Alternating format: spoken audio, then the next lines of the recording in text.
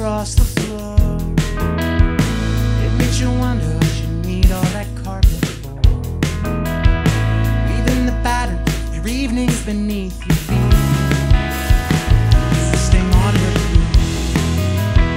Face of the glass